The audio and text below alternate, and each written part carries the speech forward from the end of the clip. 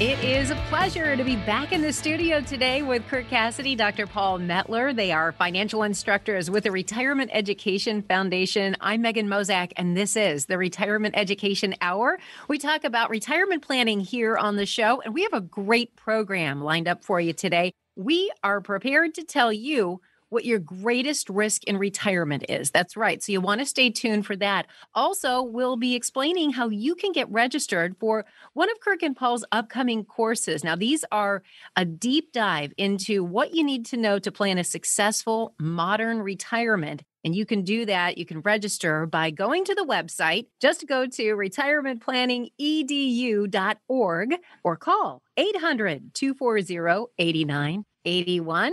Kirk Paul, great to be back. The biggest risk in retirement. I'm on the edge of my seat. What is it, guys?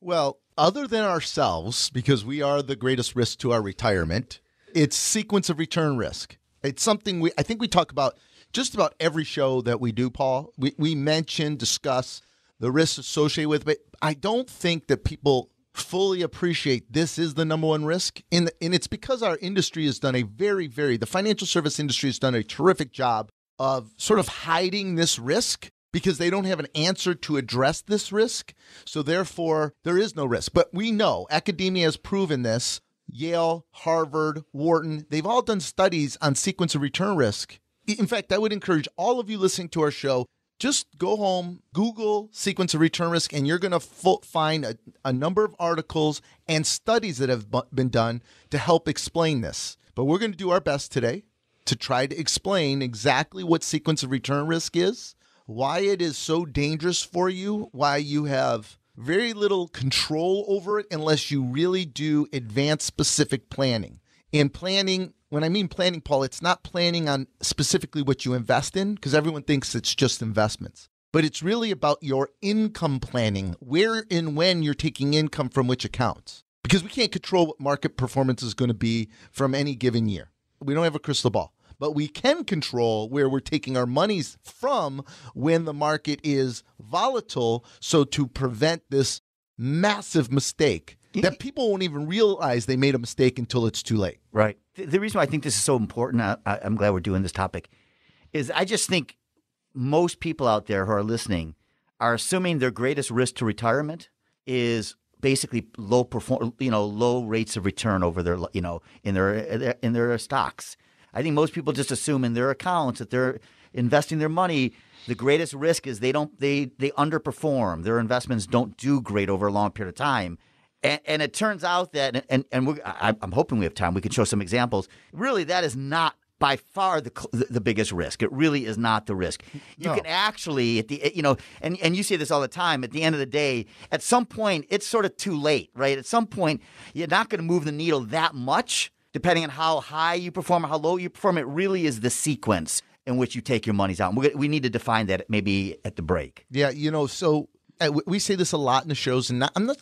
I often wonder if people don't believe us. Right here comes, you know, financial instructors for a nonprofit, but we do have our own private practice where we manage a lot of money. and We're responsible for a lot of money. And it's not every day you hear someone in the financial service industry telling you performance isn't performance of your investments aren't what is going to drive your success in retirement. I, I think that people struggle to understand how we would say that. It is not how your investments perform throughout retirement that's going to determine whether you outlive your money or not. It's not. And we're going to prove that today. And I'm going to help you. We're going to give you a tool that you can prove it for yourself when when we give you uh, access to a sequence of return calculator we've created for you. So one of the big things we cover in our classes, and, and we've been teaching these classes for almost 10 years at all the major universities, is teaching people where the risks and traps are and how to design a plan to avoid those. And it's often centered around this sequence of return risk topic. And it's why it takes seven to eight hours of a classroom education for you fully to understand the risk and how to navigate that risk. So if you'd like to attend one of our courses, it's $29 donation to charity. That's all you got to do. And you can attend our eight hour course. We're teaching them at all the major universities and streaming them live via Zoom right now so you can attend in the safety of your own home. If you'd like to register, go to retirementplanningedu.com, retirementplanningedu.com. So, Kirk, we've been spending four minutes, five minutes talking about something, we probably should define it. So define, I mean, it's it's a big term, right? But what is when we say sequence of return, how would you define this? So c- can we save that for the first segment? I want to save that for the se- first segment, uh, and I'll explain Can to I you. say no? no, of course. So what I'd rather do is talk about where we're going to take them today. Okay. And so what we're going to take them through is defining sequence of return risk. We're going to take them through some examples of this where what happens early in their investments and where they're taking their income from early is going to determine whether they outlive their money or not. We know research shows that if we have a market event in the first 5 years of retirement, your chances of outliving your money, a bad market event in the first five years of, of retirement, your chances of outliving your money increase by 75%. I, I don't you all aren't you all listening wondering why you haven't heard this before? Like there is a first 5 years of your retirement is going to drive. And here's a crazy thing, Paul. In the first 5 years of retirement, all studies show that 66% of our listeners are going to spend more money in the first uh, five years of retirement than they did the last five years of them working, which is again not something they're hearing, so they believe otherwise. So they set themselves up for a trap early in retirement that no one is warning them or preparing them for because it, it's because they don't, there's not a simple solution to this. The solution requires a lot of time, education, energy, and planning. In a software system that they can plug a few numbers in is not going to produce that solution for them. It a one size fits all cookie cutter isn't going to work. Now I'll say this, Paul. For those people who are the average retiree who's going to retire with about $200,000 in retirement, maybe a little less of an issue because it's just a different approach. But the majority of people who have resources in retirement, you have to have a customized solution here. So you got to know where the traps are before you start this process. So it's why we started our classes 10 years ago. And we are now teaching at the University of Michigan, Eastern Michigan University, Michigan State University, the Novi campus, and Troy campus, Oakland University. We're also teaching in our Livonia Learning Center that we've opened, and we're streaming it via Zoom during COVID so people can stay in the safety of their own home. It's a $29 donation to charity, gets you a seven hour class, 200 page textbook. If you'd like to register, go to retirementplanningedu.com, retirementplanningedu.com, or you can call 800 240 8981. Back with Kirk and Paul straight ahead. Great to be back with Kirk Cassidy, Dr. Paul Metler of the Retirement Education Foundation. They are both financial instructors, and I'm learning a lot today about what they say is your greatest risk in retirement, and that is sequence of returns risk. Want to make sure you know you can follow Kirk and Paul on Facebook. Simply search for Retirement Education Foundation, and you can learn a lot more, a lot of great resources as they keep us up to date on the latest for retirement planning. So, sequence of returns risk. This is a sometimes complicated, right? Admittedly, complicated concept, but boy, is it important to understand how it could affect our retirement finances. So, break this down for us. How do we easily define this? Paul, can you ex- give a, a, a general definition of sequence of return risk and then I'll give some examples? Sure. So it sounds complicated. It's not so complicated. It's really the risk of receiving negative returns early on when you start taking money out of accounts. So it's the risk of your accounts going down in value at the same time you're withdrawing money out of those accounts. And if it so happens that the sequence of those ret- returns are negative early on in those accounts and you're pulling money out, the risk of outliving your money goes up significantly. I think, you know, use the number 75%. Yeah, eh, good. So that is exactly what it is. And so let's quantify that a little bit. So today we're going to go through a number of different examples throughout the different segments of different sequences of which markets generate returns for you. And when you start taking withdrawals, how it impacts it, right? So we're going to show examples where you can have a 10% average rate of return over a 20 year period, only withdraw 5% a year, and you run out of money in 17 years. So some of you to say, how is that possible? I have an average 10% return and I'm only going to take out 5% every year. I sh- that money should last forever. It doesn't because see this is what's unique. The whole strategy everything about your investing and managing money is totally different once you retire. And it's where most of the industry, the financial service industry, falls short because they try to be one thing for everyone and they're only focusing on growing your money, not on the distribution of your money. And everything changes once you retire because when you're younger and you're working and we have market volatility, it goes up and down. The sequence of the returns doesn't make a difference as long as you have time you have an average return, and you're not withdrawing money and out. you're not withdrawing money out. The result will be the same, Paul. Right? It doesn't matter. We show that multiple times in the class where you can get the same average return over a 20 year period in different orders, like you know, losing early, losing late, losing in the middle, all kinds of different scenarios, and you still end up with the same amount of money. But when you retire and you are pulling out your 5% a year to live on, you're pulling your withdrawals out to live on, and the market goes down, you got to understand when the market's going down and you pull money out, now you have fewer shares. It's let me make it simple. You lose 50%, you need 100% to break even, right? We know if we have a, a COVID event where the market goes down 34%, you all of you witnessed it. We you needed to earn almost 54% to break back even, right? So you actually had a positive return on the year, but your money didn't break even until you got up to 54%. So imagine you retire and the portfolio goes down 10% in a year, and then you take out 5%. You have 5% fewer shares to recover from, right? So it makes it that much difficult, more difficult to come back. And and there isn't a year you're not going to take money out because once you turn 72, you have to start taking your required distributions, meaning you have to start taking withdrawals, Paul. They don't have a choice you're going to need money to live on, and the IRS says you have to take it. Yeah. Can I? Can I? I think it's uh, uh, your example. It's hard to it's hard to explain it without if, you know the visual cues. Yep. But but I think in some really what we're saying is volatility is not our friend once you retire. Right. We don't mind volatility when you're working. In fact, sometimes it's opportunities to buy. But volatility is not our friend once you start taking money out of your those accounts and it, and we'll talk a little bit about the future and volatility and, and things like that. But the reality is, you don't know if the market's going to be volatile when you retire.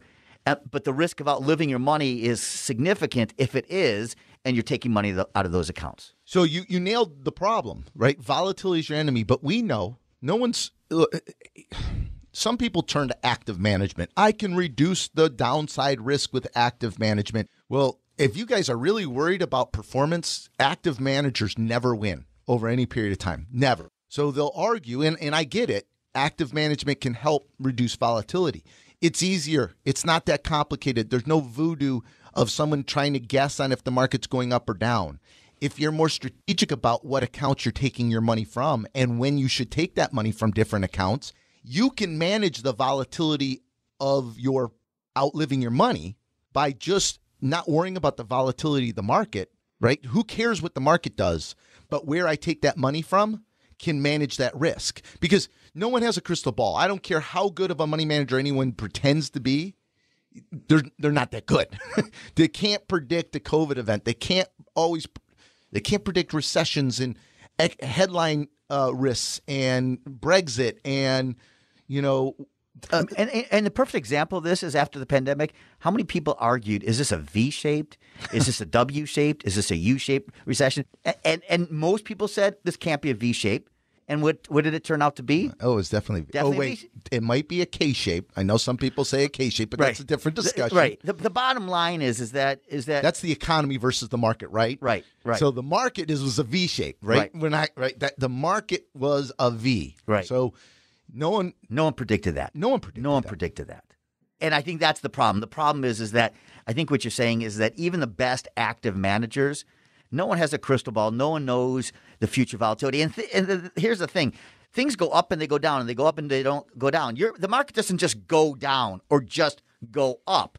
It's a seesaw. It goes up and down. And every time you're withdrawing money out of those accounts that happen to go down, that's when you run into problems. And, and so we're going to talk a little bit, I think, a, a little later on.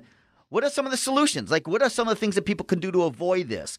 Obviously, the bottom line is we want to take money out of accounts that don't have volatility. And we're going to talk about how to do that. So uh, let's talk about the class, right? So, you know, we te- we've been teaching the class for a long time. It's a seven hour class normally held at local universities, University of Michigan, Michigan State University, the Novi campus, Oakland University, Michigan State University. A variety, we also teach a class. We've t- taught a class. I'm going to teach a class here at our learning center here in Livonia. Since the pandemic, we've been streaming this live so people can can attend the class and, and feel safe. The donation is twenty nine dollars. It costs twenty nine dollars to attend. Again, seven hour course we would encourage you, if you really want to avoid this risk, which is the greatest risk you're going to be exposed to, learn about how to manage this. Go to the class, go to retirementplanningedu.org. That's retirementplanningedu.org. You can register when you go online or you can call 1 800 240 8981. The number is 1 800 240 8981. And we will be back. There's more with Kirk and Paul straight ahead. This is the Retirement Education Hour. I'm Megan Mozak. It's a pleasure to be in the studio with Kirk and Paul today. Kirk Cassidy, Dr. Paul Metler, they are financial instructors with the Retirement Education Foundation. Find them on Facebook. Simply search Retirement Education Foundation. We're talking about the biggest risk to your retirement right now. And Kirk and Paul, baby boomers, especially those who are in or nearing retirement, how vulnerable are they to all the ups and downs we see on Wall Street? Well, I think this particular time for baby boomers, this topic of sequence of return risk, it's never uh, more important to talk, talk about in history, I think, because we've got a market that's at an all time high. It's the highest we've ever had in history, without question. And we also have 10,000 baby boomers retiring a day. I mean, literally, right? So it's we have a perfect storm of market all times highs, tons of people retiring be out of choice, out of necessity, because they're forced, because of health, because of COVID, because of economic conditions. Perfect storm of a lot of people retiring and a market all time high, which markets don't just go up forever. I know that we've had a very extended bull run and people have gotten very confident, I would argue way overconfident people tend to get over their skis. We saw this, right? I mean, we saw 35% of people over the age of 65 panic at, in March. 35% of people 65 years old panicked in March and sold everything when COVID hit. That tells us that's a clear indication behavioral finance 101. It's a clear indication people were overconfident, had too much risk in their portfolio, thought it was just going to go up, and they got caught and and I think that's one that's the second biggest mistake in re- retirement is not understanding your relationship with money is going to change. You'll never be more vulnerable, no matter how logical and mathematical you are. It will become very emotional, whether you want to or not. Right? Yeah, no, no for sure, for sure. You know, so I, I think when you say, just to clarify, that right now baby boomers are really at a, at a pretty significant risk and you give a good example of sort of the emotions out there and the, the anxiety I think that that's out there. I, I, think it's fair to say, and, and I think we we've seen in the last couple of weeks, right, with with what happened with GameStop, GameStop and, yeah. and all the shorting, which that that this is just the beginning. I, I mean, I think we've seen a trend where market volatility has slowly been going up and up and up, and we can give some numbers to to show that, right? I think when you compare 2019 to 2020, and now so far 2021 the indexes that are used to, to, to, to measure risk of volatility are, is going up. And I think, again, we saw that with GameStop. Where, and I think that's only going to continue. And I think there's a lot of reasons why it's going to continue. And I think the more it continues, the more we're going to see these bubbles pop, pop and the more we're going to see a lot more volatility. And that's the worst. That could, there's no worse time for someone who's retiring than to deal with that. Uh, Paul, you're 100% right. I mean, I know that people want to debate valuations right now, whether some of the particular sectors that have done really, really well, like extraordinarily well, like breaking all time records of how well it's doing. They've gotten what we call really expensive. The, the stock price is, it's hard to justify the valuations that they're putting on some of these stocks. And so there's many people who speculate there's a bubble. And but but here's the deal. I mean, we've heard this before, right? I mean, Peter Lynch, one of the greatest investors they say of all time, called the top in 1995. He missed it. He missed it by 5 years, Paul. Right? 5 years. 5 years was 100% in returns by trying to call the top. Don't play the timing game. Don't think you can call this top. We're not telling you it's going to pop now. It could pop in two years, three years, five years. We don't know. What we do know is if you retire and in that first five to 10 years of retirement, If we have volatility and we have corrections or, or recession or a bubble pops, you are very, very vulnerable if you don't have an effective plan to be able to pivot and, and know what accounts to take your income from. I, I, I think Hey, Don't change your investment philosophies, by the way. Sorry. No, I mean, I, I think I want to be careful because we use the term bubble, and the assumption is it has to be huge, right? I guess what I'm saying, what, what I'm suggesting is we just had a bubble pop. Right, we that little GameStop was a bubble popping, and it's going to. I mean, because really, we're talking about again, market volatility is your enemy, right? And at the end of the day, what's happened and what we saw just a couple weeks ago was massive market volatility. And there's, I don't want to get into the, we don't want to get into the weeds of why that happened. Right. But there are a lot of people who believe this is the new world, and we're going to continue seeing that. Oh, and, no doubt. a- a- and I think I think there is a lot of reason for that. And so the problem is all these little bubbles that pop. All that does in terms of your portfolio is you're going to see a lot of up and a lot of down. And if you happen to be retired at the time, that's the worst thing that can happen for you if that's the account you're living off of for income. Well, thank you. I'm glad you, you finished the sentence the uh, way I was hoping you would, because I think sometimes people hear us and say, "Well, then I, I got to not take risk." Some No. of you are going to say, "I need to go to bonds," and we're definitely not telling you to go to bonds, right? In the lowest interest rate environment, and when interest rates rise, you're going to lose money in bonds over the next ten years. I would argue your bond funds are going to lose money. Okay. Real return, it will lose money. That isn't the solution. That's not what we're saying. Okay. We're not saying to come out of the markets. We're not telling you that you shouldn't be invested. I want to make sure people understand because they people have this bias and people tend to have anxiety and fear and feel vulnerable already in retirement. So they hear this and that's their cue. That's what they just the justification or rationalization they need to I'm going to cash or I'm going to go to all. That's not what we're telling you. We're responsible for over a billion dollars in our private practice, and we've got a lot of money exposed to a lot of risk. That that's okay. You're you still need to invest for the long term.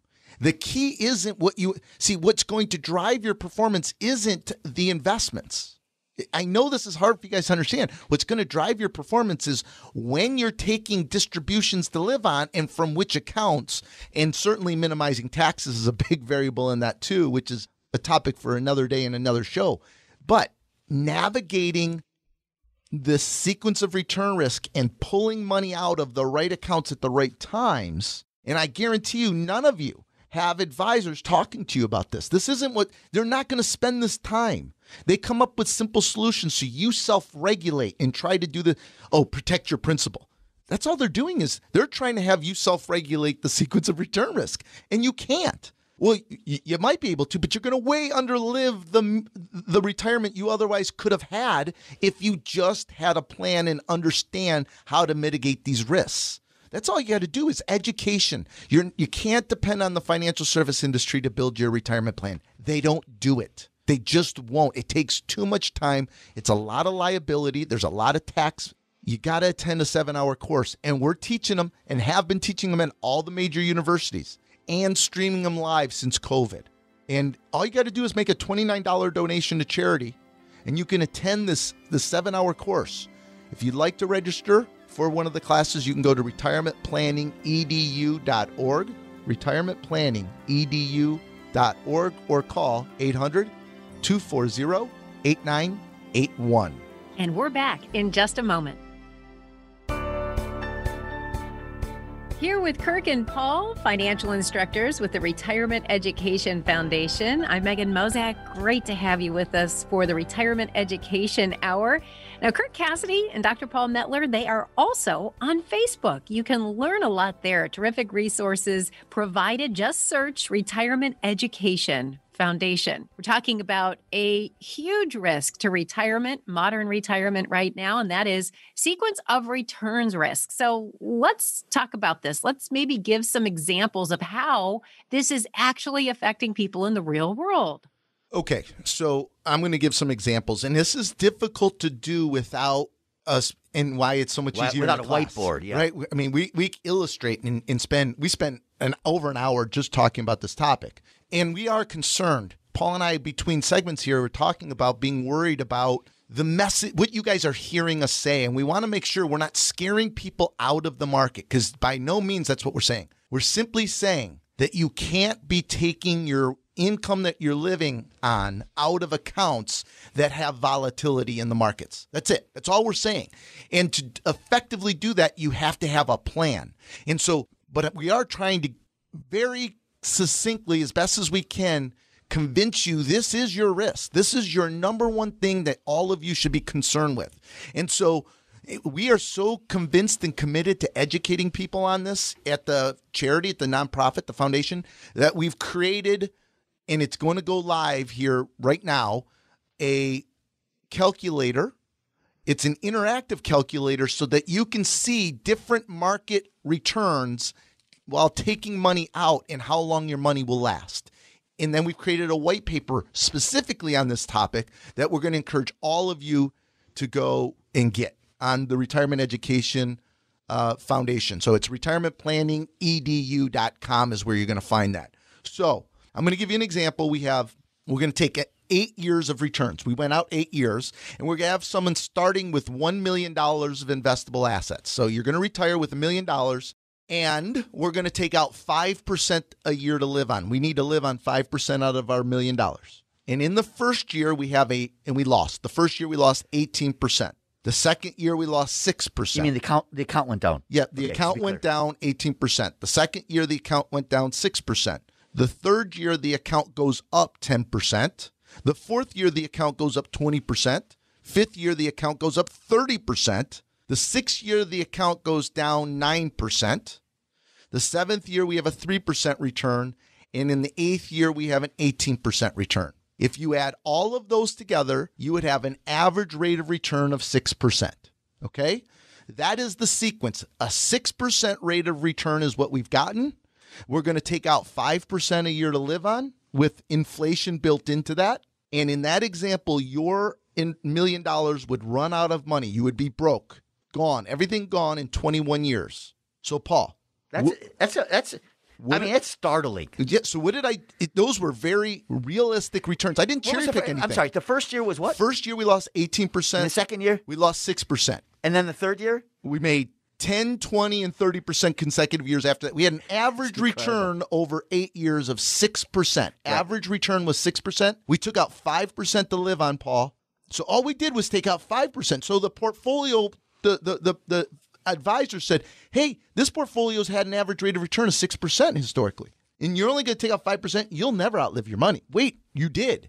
You run out of money in 21 years. I'm telling you guys. So basically, basically, yes. just a, the, the, on average, someone could say, someone could say, on average, that person's portfolio averaged 6%. Yep. They took out 5% annually. Yep, to live on. To live on. Yep. And after 21 years, they had no money left. Zero. And all that all that happened was the first year and the second year. First year went down 18 18 which and, is no, and the second one 6 6 by the way 18% is nothing we've seen days where the market's been down 10 12% uh, right that's amazing i mean that's startling it's startling so so guys everyone listening performance isn't what's going to drive i'm sorry returns. The market returns isn't your performance in your investments isn't what's going to drive your overall success in retirement. It's not. It's not the investments you're choosing. It's the withdrawals you're taking from which investments is going to determine whether you outlive your money.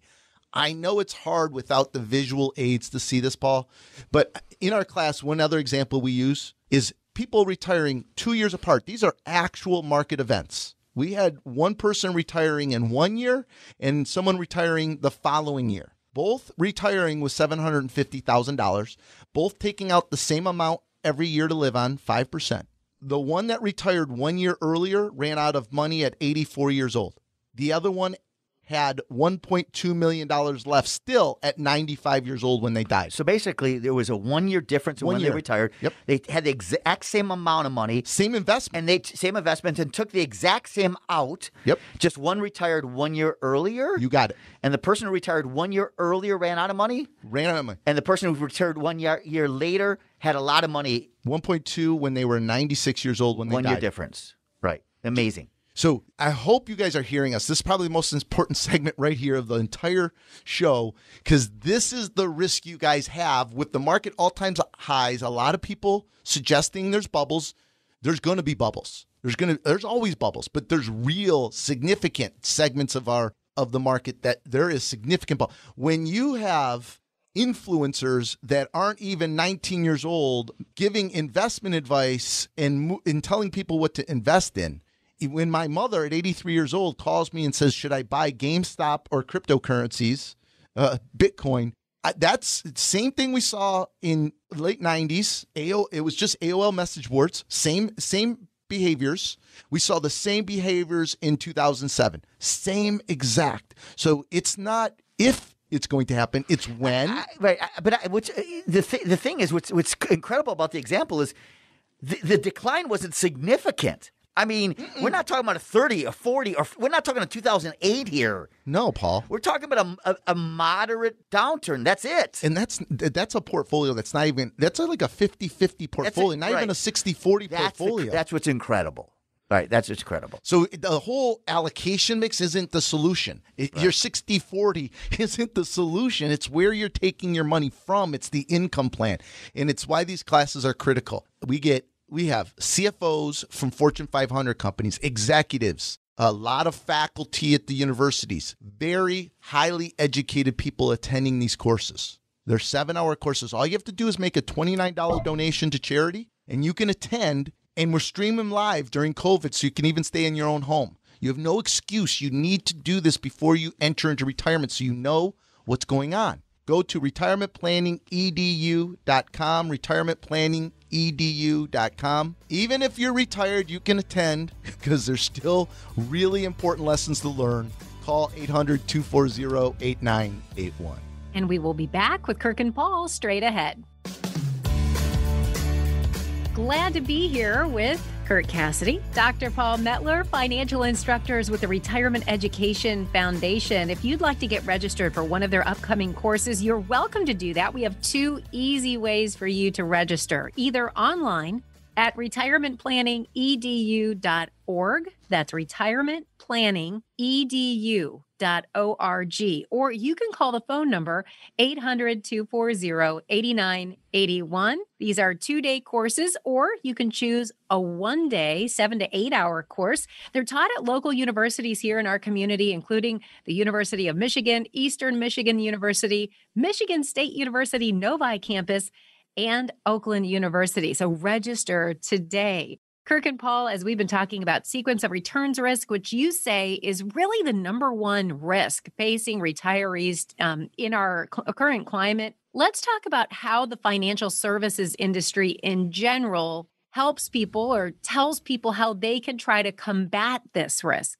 So here's conventional wisdom. And there's a number of different things that different advisors will use to try to manage the sequence of return risk. Historically, you would have heard when we have market volatility, spend less. That is very, very common. Um, or uh, another way they would say it is they would condition you. You have all been conditioned. I, I, promise you, if I if I was able to reach out and ask all of you to be polled that are listening to us today, if you want to protect your principal in retirement, m- most of you would raise your hand. And then I would convince you why you really don't want to protect your principal. You've just been trained, conditioned to believe that's what you're supposed to do. Many of you would say a controlled spend down of my principal is fine, just don't let me outlive my money.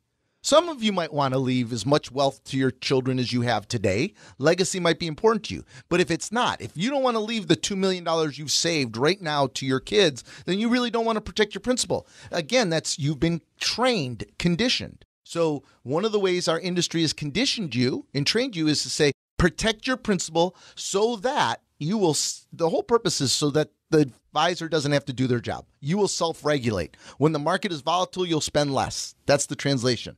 And that so, so stinks, I, Paul. Right, right. So that really stinks. Right. So there's, two, there's really there's two offshoots of that. Some people just say throughout retirement spend less, and there are other people say your spending should be flexible based on the market. Right? I've heard people say, well, when the market goes down, spend less. When the market goes up, you can spend more. That's horrific. It's, it's I mean, it, it, but that's it's not uncommon. No, right? it's the I most mean, common. I hear this all the time from people. This that is, is my the, advice. That's right, Paul. That is so disappointing. People are going to way underspend what they otherwise could be spending in retirement. Particularly those. See, these rules aren't designed with people that have saved and have resources for retirement. These general rules that they're using for all of you is really designed for people. The average baby boomer retiring is going to retire with $200,000 saved or less for retirement. So these general rules are important. Protect your principal. But you've got two, three million dollars. No. No, no, no. You are going to way underspend and have a lesser quality retirement than you otherwise could. Here's another one. Hold on. Here's the other issue with that. Your spending patterns, everything you do, vacations, whether and when you retire, whether you do home improvements, will be dictated by market events. You will live and die by market events. You're saying if you follow that strategy. If you follow this rule, short term market events are going to dictate what you do. And I'm here to tell you, after losing, I don't know how many clients this year who have died in their 60s in our private practice, you don't know how long you're going to live. Don't assume you're going to live. So don't your retirement plan, you can't let short term market events or who's being elected or if we're in a recession, that should not dictate when you're taking your income and how much you should have a plan that maps it out so that we know every four to seven years there's going to be a major market event. So if we know that, we can plan in advance so that you can pivot. If you educate yourself, you'll understand how to pivot, where to go to when we have volatility, and what accounts you can take money from.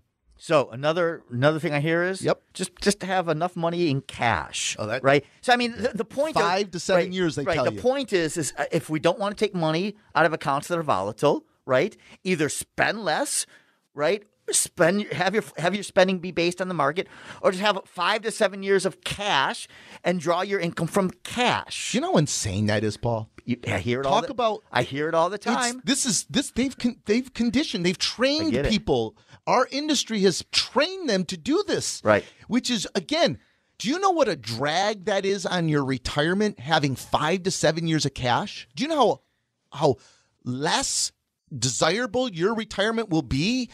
How much you're going to underlive what you otherwise could be living on and spending if you had 5 to 7 years in cash? It's such a drag. I, I got a better one. That's but, but it's just lazy. No one wants to build a customized individual What plan about for you. What about laddering bonds? You can't. You're going to ladder bonds right now. A muni bond, you're lucky to get uh, uh, to, to yield one percent. You're losing money if you're buying muni bonds right now. But these are strategies that everyone Real return about. with inflation. You can't. Right. You want to ladder bonds in the lowest interest rate environment that makes nothing, and then as interest rates rise, it goes down in value. You're going to ladder bonds right now. Now, I'm not saying always. I, am not saying. Wait, wait, let me be clear. I didn't say I'm laddering bonds. Right. No, I, well, I used to ladder I bonds. know, I'm just There saying- was a time I would ladder bonds when interest rates were much higher than they are. Right, right. That can help offset some of those issues. Right, Right. I mean, right? And that's great. But now? Right. So these are the one size fit all solutions that, because yeah, how technical and how advanced are these people in this business? Really? Honestly? They're just trained salespeople. And so that's why if you have an advisor, looking for an advisor, getting ready to retire, or in retirement, do yourself a favor. Just spend seven hours in a classroom so you understand what they are doing for you and how it's doing a disservice for you Because and what you need to do to give you the outcomes to give you the best retirement possible. Because in our class, we have the time to really get into what are better ways to address this, right? We can't do this here. Yeah, we break down all the traps, the risks, the conventional wisdoms that are wrong. That's right. Then we give all the solutions and show examples of what a plan should look like. That's the breakdown. And to buy anything, invest anything, to buy an annuity, to buy an investment without building a plan, it's like buying furniture for a home you haven't built yet. Y'all have furniture for a home you haven't even built yet. You have all these investments and pensions and lump sums and Social Security.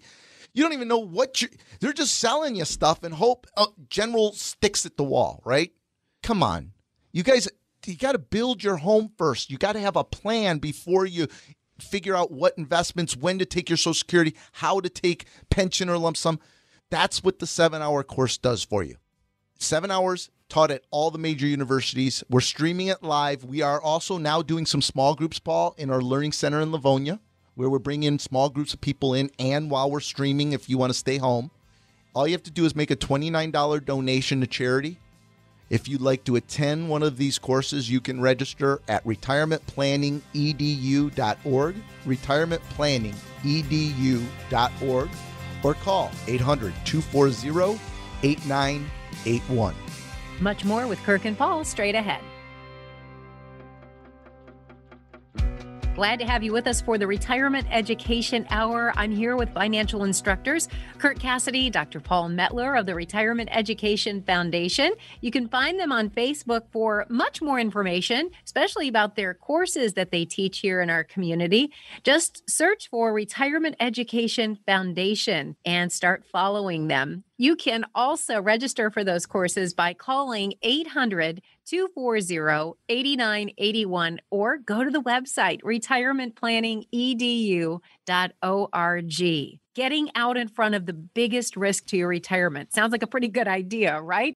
Well, Kirk and Paul have explained that sequence of return risk that is really our greatest risk, and you need a plan to combat it, don't you?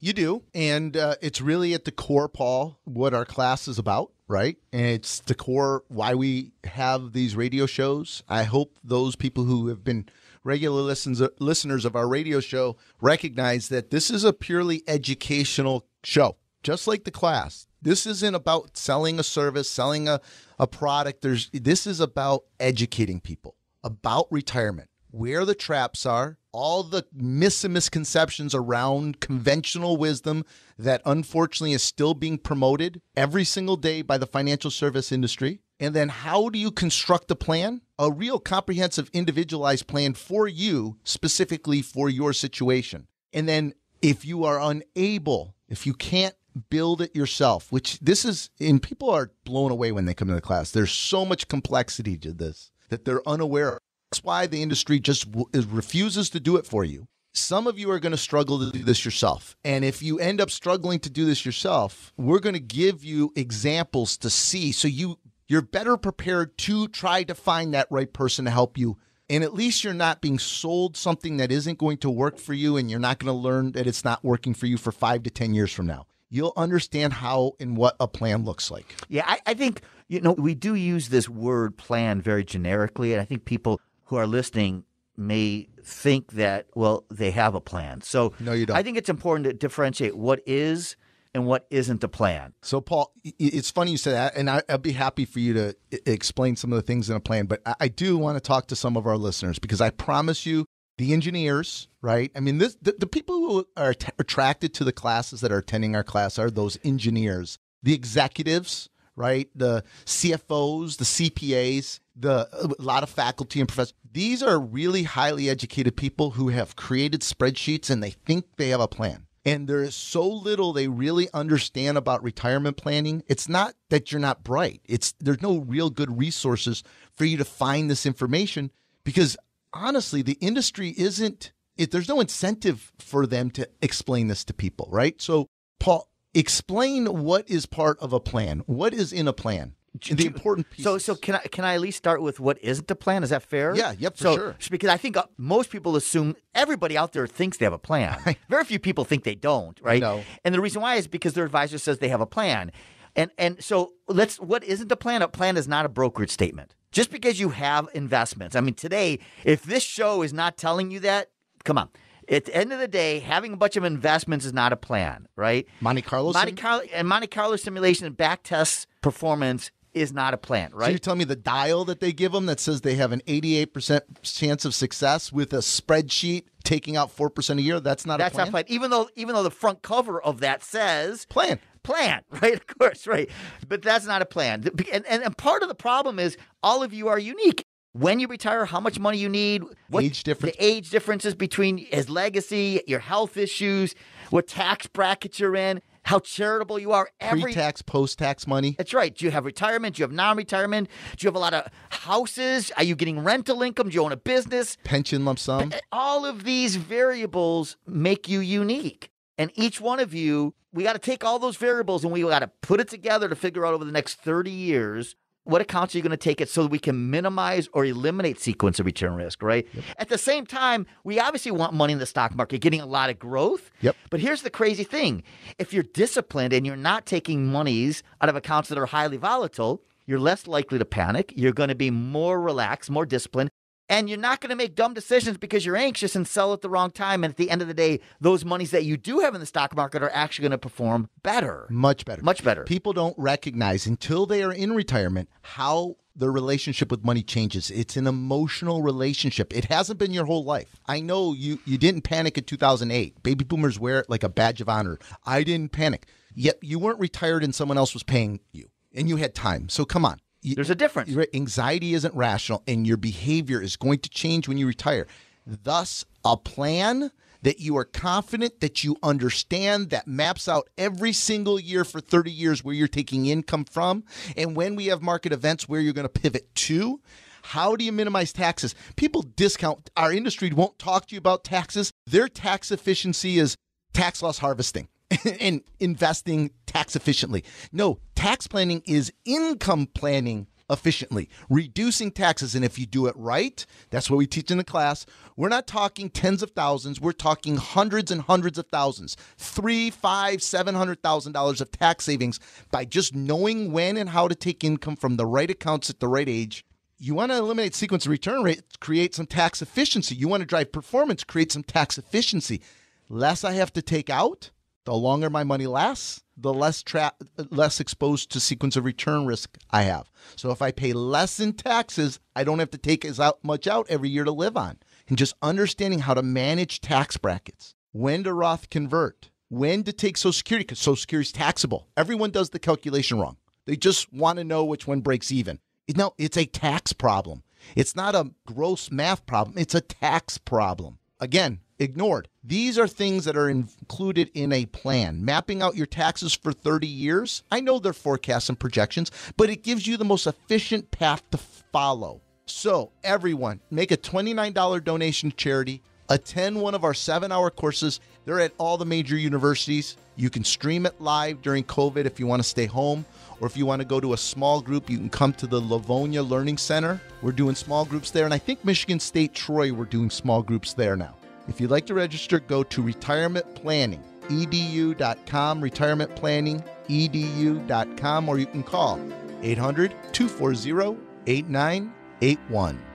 Investing involves risk, including the potential loss of principal. Any references to protection, safety, or lifetime income generally refer to fixed insurance products, never securities or investments. Insurance guarantees are backed by the financial strength and claims paying abilities of the issuing carrier. This radio show is intended for informational purposes only. It is not intended to be used as the sole basis for financial decisions, nor should it be construed as advice designed to meet the particular needs of an individual situation. Retirement Education Foundation is not permitted to offer, and no statement made during the show shall constitute tax or legal advice. Our firm is not affiliated with or endorsed by the U.S. government or any governmental agency. The information and opinions contained herein provided by third parties have been obtained from sources believed to be reliable, but accuracy and completeness cannot be guaranteed by Retirement Education Foundation. This radio show is a paid placement.